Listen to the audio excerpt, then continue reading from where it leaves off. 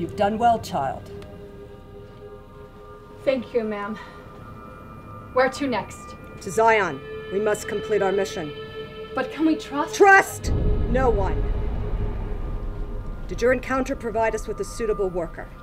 We must move quickly before one of them comes for the bomb. Of course. With training, he will serve us well.